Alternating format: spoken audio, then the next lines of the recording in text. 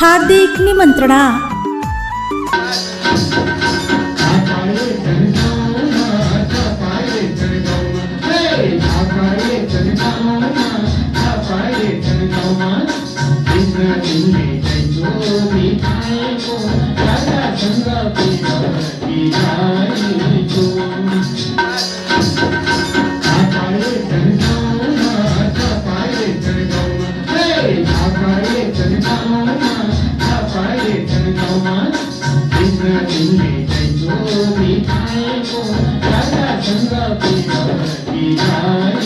यही मिति दुई हजार उनासी साल ज्येष्ठ महिनाको दुई गतेका दिन चण्डी पूर्णिमाको अवसर पारेर तान्त्रिक गुरु हरि बोहराज्यूबाट सम्पूर्ण भक्तजनहरूको कुल देवताले रक्षा गरून् भन्ने हेतुका साथ कुल पूजा र पितृका उद्धारका साथै सङ्गीतमय भजन कीर्तन समेत हुने भएकाले सम्पूर्ण भक्तजनहरूलाई हार्दिक निमन्त्रणा गर्दछौँ।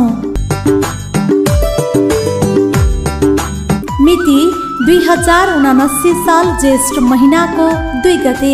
स्थान बुढानीलकण्ठ नगरपालिका तेह्र जय होस टिभीको कार्यालय हरिचोक काठमाडौँ।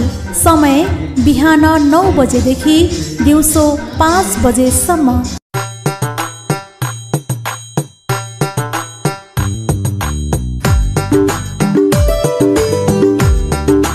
सम्पर्क नम्बर अन्ठानब्बे चौवालिस एक्काइस चौबिस पैँतिस।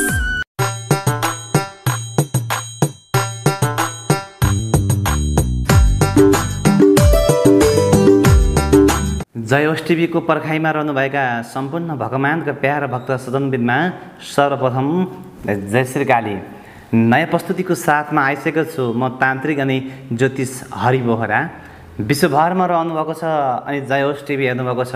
जयोस टिभीबाट प्रसारण हुने कार्यक्रम जब बिरामीमा विभिन्न समस्याका समाधान होइन अनि त्यो रोगलाई कसरी न्यूनीकरण गर्ने अनि ती हाम्रा घरमा रहेका कुलदेवता पितृदेवता इष्ट देवतालाई हामीले कसरी बुझाउने र हामीले बुझाइसकेपछि हाम्रो पक्कै पनि घरमा सुख शान्ति समृद्धि हुन्छ भन्ने विषयमा हामीले जयोस टिभीबाट यस्ता यस्ता भिडियो अपलोड गरिरहन्छौँ। र विशेष गरेर जयोस टिभीमा भन्नु मात्रै होइन त्यहाँ बिरामी आइकन हाम्रो कार्यक्रम कस्तो छ अनि कार्यक्रम गरेको महत्त्वपूर्ण कार्यक्रममा चित्त बुझेको छ कि छैन हामीले गरेको अभियान कस्तो छ अनि हामीले रोग उपचार गरेका कस्ता छन् त बिरामीले भनेका जस्ताको तस्तै दृश्य पनि तपाईँ सामु हामीले राख्ने गरेका छौँ। र विशेष गरेर तपाईँलाई चाहिँ जसले चाहिँ दुःख अनि कष्ट पीडा परेर चाहिँ हाम्रो जयोस कार्यालयमा आउँछ अनि हाम्रो हामीसँग सम्पर्कमा जो रहन्छ पक्कै पनि धैर्य जसले गर्छ त्यसको सुख शान्ति समृद्धि अवश्य पनि हुन्छ। र विभिन्न बिरामी उपचार गरेका दृश्य तपाईँ सामु हामीले बारम्बार सपुर प्रमाणसहित देखाइरहेका छौँ। जे बोल्छौँ सत्य बोल्छौँ। जे काम गर्छौँ सही काम गर्छौँ। सक्छौँ त सक्छौँ भन्छौँ। सक्दैन त हामी सक्दैन भन्छौँ।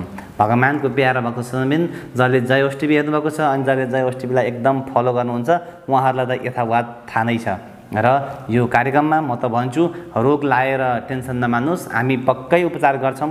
पैसा नभए पनि तपाईँ सिधै कार्यालयमा आउनुहोस्। तपाईँको अवस्था हेरेर म उपचार फ्रीमा गर्नेछु। हाम्रो टोलीले उपचार फ्रीमा गर्नेछ तर लाइक कमेन्ट सेयर र सब्सक्राइबको कमी कहिले पनि नहोस्। अब लागि विषयवस्तुमा। आजको विषयवस्तु अत्याधिक महत्त्वपूर्ण रहेको छ। सानादेखि ठुलासम्म धनीदेखि गरिबसम्म सबैलाई अत्याधिक आवश्यक पर्ने जसले गर्दाखेरि तपाईँको धन सम्पत्ति दौलत त कसैलाई पनि बढी हुँदैन। भगवान्का प्यारा भक्त सदनबिन विशेष गरेर हामीले धनलाई जहिले पनि माया गर्नुपर्छ अनि धनको लागि हामीले जहिले पनि लक्ष्मी भगवान्लाई सम्झिन्छौँ। जब लक्ष्मी भगवान्को हामीले पूजापाठ गर्छौँ जब लक्ष्मी भगवान्लाई हामीले हृदयदेखि सम्झिन्छौँ तब त हाम्रो कार्यमा सफलता प्राप्त हुन्छ।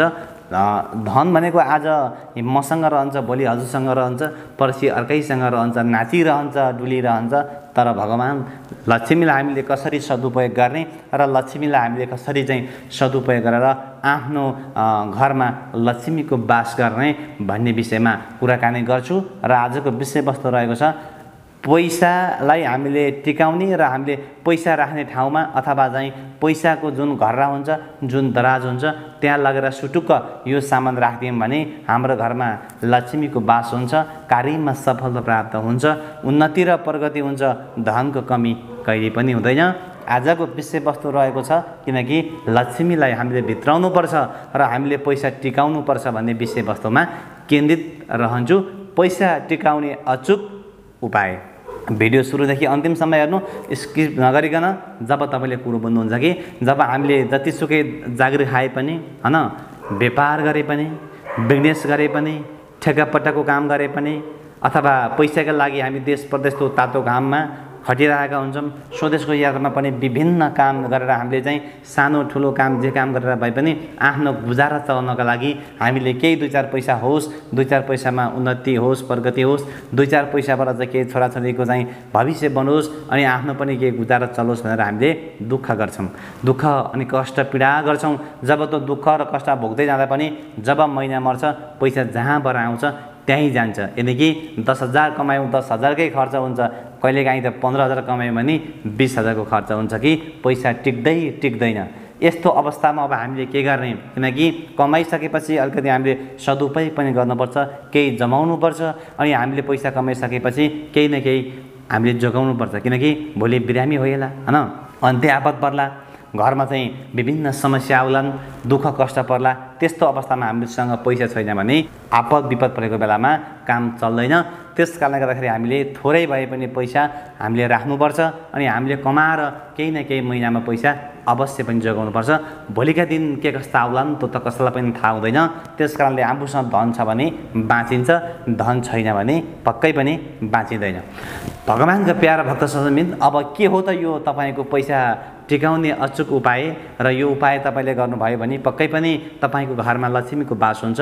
मैले तान्त्रिक विधिबाट अनि तपाईँलाई चाहिँ जानकारी दिइरहेको छु।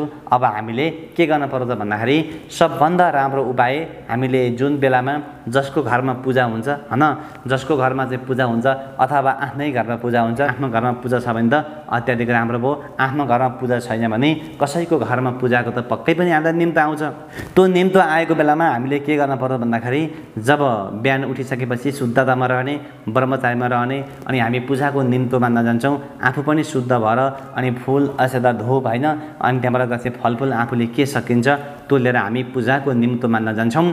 पूजाको निम्तो मान्न गएपछि सत्यनारायणको पूजा होस् रुद्री पूजा होस् त्यहाँ होम हवन होस् श्रीमद् देवी भागवत होस् लगायत तपाईँका चाहिँ विभिन्न नवग्रहका पूजा हुन् जुनसुकै पूजा भएको ठाउँमा पनि तपाईँलाई यदि निमन्त्रणा आउँछ भने तपाईँ त्यो निमन्त्रणालाई मान्न जानुहुन्छ भने जब तपाईँको त्यो रुद्री पूजा गरेको ठाउँमा त्यहाँ तपाईँको चाहिँ पैसा होइन कि सिक्का पैसा हुन्छ त्यो यज्ञ होमा हुन्छ त्यो यज्ञमा भएको सिक्का पैसा तपाईँले चाहिँ ल्याउनुहोला गुरुदेवबाट पूजापाठ गरेका हुन्छन् त्यहाँ त्यो सिक्का पैसा ल्याउनु होला। त्यसको साथमा सुपारी पनि ल्याउनु होला। अनि त्यो सुपारी र त्यो पैसा ल्याएर तपाईँले आफूले कि त बिहिबारको दिन विशेष गरेर चाहिँ हामीले चाहिँ बिहिबारको दिन पारेर चाहिँ विष्णु भगवान् लक्ष्मीलाई सम्झेर सन्ध्याकालीनको बेलामा धुप फुल अक्षता ठिक पारेर सन्ध्याकालको आरती भएपछि त्यो हामीले पैसा छ त्यो पैसा र सुपारीलाई रातो कपडामा प्याक गरेर अनि हामीले सुटुक्क कसैलाई नभनिकन दराजमा अथवा पैसा राख्ने घरमा सदा सर्वदा राखिदिउँ भने हाम्रो घरमा लक्ष्मीको बास हुन्छ। अनि त्यसलाई फेरि हामीले महिनावरी भएको बेला जुठो र सुतक परेको बेला कुनै पनि अशुभ भएको बेला शुद्ध भइसकेपछि जौतिल पानी छर्केर अनि त्यसलाई हामीले शुद्धता भइसकेपछि फेरि हामीले चाहिँ जौतिल पानी छर्केर धुप बालेर त्यसलाई हामीले जगाउनुपर्छ शुद्धिकरण गर्नुपर्छ। यो त एउटा उपाय भयो।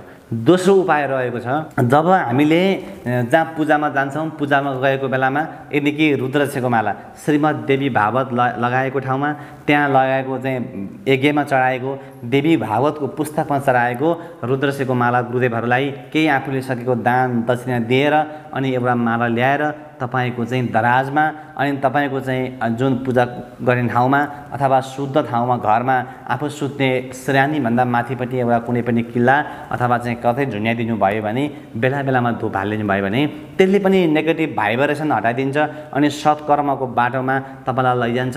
नराम्रा चिजहरू पर हटेर सत्यताको बाटो चाहिँ घरमा आउँछ र देवी र देवता अनि लक्ष्मी भगवान्को बास हुन्छ भने तपाईँको घरमा केही न केही पक्कै पनि सह भित्रिन्छ अर्को उपाय रहेको छ भगवान्को प्यार भक्त सजमिन जब हामी रुद्री पूजा अथवा हामी चाहिँ सत्यनारायणको पूजा चण्डी पाठदेखि लिएर विभिन्न पूजामा जे पूजामा गएका छौँ त्यो पूजामा हामी गएको बेला त्यहाँ पक्कै पनि त्यो कलशमा रातो र सेतो ध्वजा गुरुदेवहरूले बाँध्नुभएको हुन्छ त्यहाँ पूजा भएको हुन्छ। जुन मेन पूजा भएको ध्वजा हुन्छ त्यो रातो र सेतो ध्वजा सानो टुक्रा ल्याएर तपाईँको पूजा जुन तपाईँको चाहिँ मूल ढोकामा बाँधिन पनि सक्नुहुन्छ र तपाईँले जुन त्यो रातो र सेतो ध्वजा चाहिँ हजुरहरूको घरमा यानि जुन तपाईँको घर छ त्यो घरमा चाहिँ तपाईँले चाहिँ दराजमा अथवा चाहिँ तपाईँको पैसा राख्ने ठाउँमा रातो र सेतो ध्वजालाई अचल ठाउँमा तपाईँले चाहिँ राम्ररी चाहिँ सदुपयोग गरेर राखिदिनु भयो भने अनि बेला बेलामा धुप हालिदिनु भयो भने लक्ष्मी भगवान्को प्रार्थना गर्नुभयो भने पक्कै पनि तपाईँको घरमा सुख अनि शान्ति समृद्धि उन्नति र प्रगति हुन्छ। यसले त तपाईँको घरमा नेगेटिभ भाइब्रेसनलाई हटाइदिन्छ किनकि यसले तपाईँको नेगेटिभ जति ग्रह पूजापाठ गरे पनि घरमा पैसा टिक्दैन नटिक्नुको एक उपाय यो हो भने दोस्रो उपाय रहेको छ कि ग्रह र गोचरको कारणले गर्दाखेरि पनि घरमा पैसा कहिले पनि टिक्दैन। त्यसको निमित्त चाहिँ आफ्नो जन्मकुण्डले हेराएर अनि त्यहाँबाट विज्ञ ज्योतिष अथवा विज्ञ तान्त्रिकहरूलाई देखाएर तपाईँले ग्रहको पनि पूजापाठ स्वस्ति शान्ति गर्न सक्नुहुन्छ। अर्को उपाय रहेको छ पैसा टिकाउने उपाय भनेको जब तपाईँले बिहिबारको दिन अथवा शनिबारको दिन मङ्गलबारको दिन बिहिबार शनिबार मङ्गलबारको दिन पारेर हजुरले के गर्नु पर्यो त भन्दाखेरि आफ्नो घरमा जुन तपाईँको घरमा पैसा छ एउटा पैसा ल्याउने एउटा पैसा ल्याइसकेपछि तान्त्रिक गुरुदेवहरूमा गएर त्यो पैसालाई जगाएर स हुने उपाय गरेर चाहिँ त्यहाँबाट चाहिँ तान्त्रिक विधिबाट फुल अक्षता धुप हुन्छ। त्यसका लागि चाहिँ तपाईँले चाहिँ हामीसँग पनि सम्पर्क गर्न सक्नुहुन्छ। भन्न खोजेको मैले एउटा घरको चाहिँ तपाईँले कहिले पनि नमास्ने पैसा ल्याउने अनि पैसा ल्याइसकेपछि त्यो पैसालाई जगाइदिइसकेपछि अनि त्यहाँ फुल अक्षता धुप राखेर तपाईँको घरको चोखो ठाउँमा लगेर राखिदिनु भयो र दराजमा लगाएर राखिदिनु भयो भने हन्ड्रेड पर्सेन्ट तपाईँको घरमा सह हुन्छ अनि पैसा पनि टिक्छ भगवान्को प्यार भक्त सजमिन विश्वभरमा रहनुभएको छ जय टिभी हेर्नुभएको छ। अनगिन्ती धन्यवाद। ती बुबा अनि ती आमा विश्वभरमा रहेर गाउँ बस्ती टोल टोलमा रहेर आइया आफू भनेर बस्नुभएको छ यदि भने त्यो पैसा उपचार गर्ने पैसा छैन भने पनि कृपया जय टिभीको स्क्रिनमा बगेको नम्बरमा अझै फोन गर्नुहोस्। ती बाबुआमालाई हामी दुखेको घाउमा मलम लगाउनेछौँ। त्यो बाबुआमाबाट हामी पूर्ण आशीर्वाद लिनेछौँ र त्यो बाबुआमालाई पनि हामी दुःख र कष्ट पीडाबाट मुक्त गराउनेछौँ। हाम्रो हेतुले भ्याएसम्म हामीले भ्याएसम्म हाम्रो चाहिँ आर्थिक अवस्था अनि हाम्रो तन्त्र अनि मन्त्र यन्त्रले भ्याएसम्म वैदिक र तान्त्रिक अनि वैद्य विधिलाई जोडेर तपाईँको उपकार गर्नेछौँ र दुःख कष्ट पीडामा रुमलेर नबस्नुहोला। र तपाईँका ती समस्या समाधानका लागि हामीलाई सम्झनुहोला। धेरै धेरै धन्यवाद। उपचारको क्रम सदा सर्वदा जारी छ। विश्व अभियान हो। तपाईँका टोल बस्तीमा अब दुःख र कष्ट पीडा लिएर रनबुल पर्न पर्दैन। एक मात्र सयात्री टेलिभिजन जयोस टेलिभिजन तपाईँको साथमा अनि मह हरि बोहरा सुनिदिनु भयो धन्यवाद। राष्ट्रदेव पशुपतिनाथ भगवती काली गुरुले तपाईँ तपाईँको घर परिवारमा सुख होस् शान्ति होस् समृद्धि होस् उन्नति प्रगति होस् कहिले पनि दुःख र कष्ट पीडा नपरोस्। क्यामराम्यानमा भगवती आचार्यज्यूलाई विशेष धन्यवाद। नयाँ प्रस्तुतिमा हरि बोहरा तपाईँ सामु भेट्ने बाचाका साथ अहिले बिदा दिनुहोस् तपाईँ सम्पूर्णको भलो होस्। यस च्यानललाई लाइक कमेन्ट सेयर र सब्सक्राइब गर्न नभुल्नुहोला धन्यवाद।